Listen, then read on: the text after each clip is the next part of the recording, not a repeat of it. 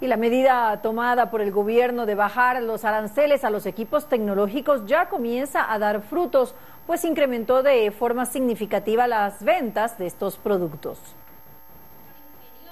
La tecnología avanza a pasos acelerados, abriéndose mercado en diferentes países del mundo. Los nuevos equipos que ingresan al Ecuador como computadores, tablets y teléfonos inteligentes tienen cero arancel y por ende un costo más bajo.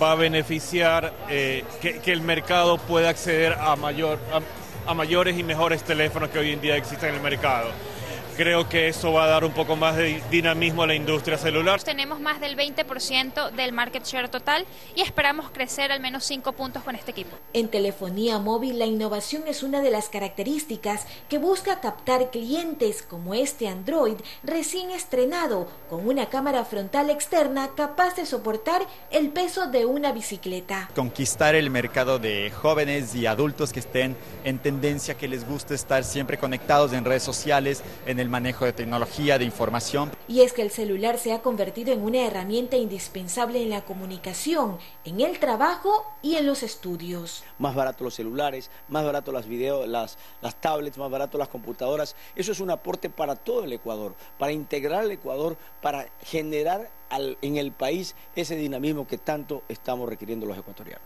En su cuenta de Twitter, el primer mandatario Lenín Moreno citó que el objetivo es que todos tengan una tablet, una computadora y las familias se mantengan conectadas. La meta a futuro es lograr un Ecuador digital. Mariuxi Buenaño, Medios Públicos.